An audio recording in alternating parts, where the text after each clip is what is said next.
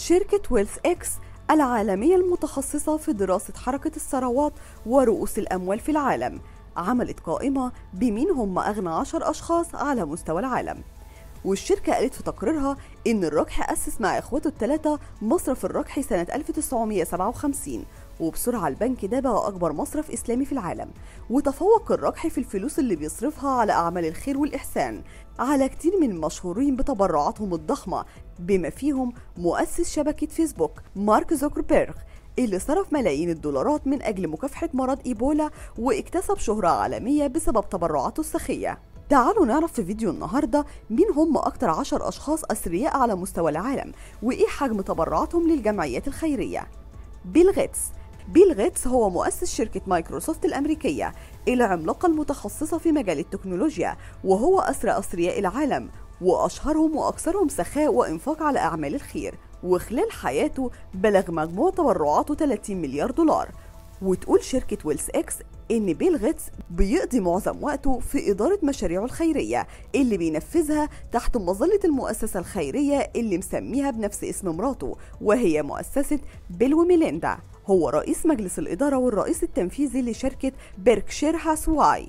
وهو واحد من أغنى الأغنياء في العالم وخلال حياته اتبرع بمبلغ إجمالي يصل إلى 25 مليار دولار. وارن بافيت صرح سنة 2006 بأنه هيتبرع ب 85% من ثروته لأعمال الخير.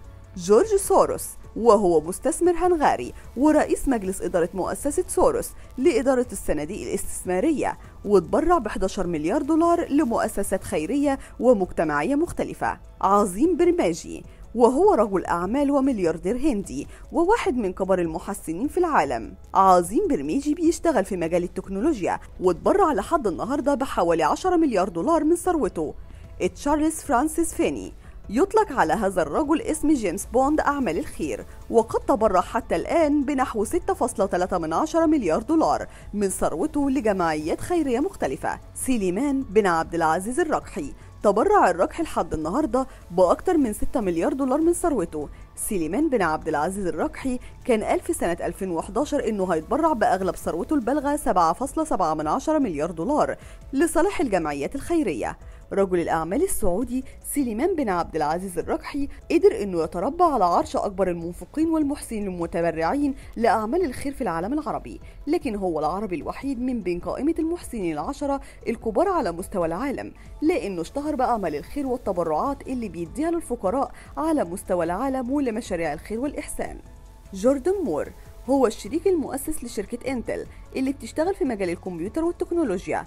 جوردن مور تقاعد عن الشغل سنة 2006 لكن خلال حياته تبرع بأكثر من 5 مليارات دولار لجمعيات وحملات تختص بالحفاظ على البيئة أو رعاية المرضى وتطوير العلوم. كارلوس سليم الحلو وهو واحد من أغنى الأشخاص في العالم وهو مكسيكي من أصول لبنانية وتبرع ب 6 مليارات دولار لجمعيات خيرية لحد دلوقتي إيلي برود. رجل أعمال أمريكي أسس شركتين في قطاعين مختلفين. هما The Eli and Edythe Broad و The Broad Art. وقدم طول حياته تبرعات كتير وصلت قيمتها ل 5 مليار دولار. جورج قيصر هو رئيس مجلس إدارة الشركة المالية بوك. وتبرع لدعم مجالات كتير من بينها التعليم والمؤسسات الدينية والصحية وتطوير المجتمع. وبلغ إجمالي تبرعاته طول حياته لحد النهاردة ما يقارب 7 مليار دولار أمريكي.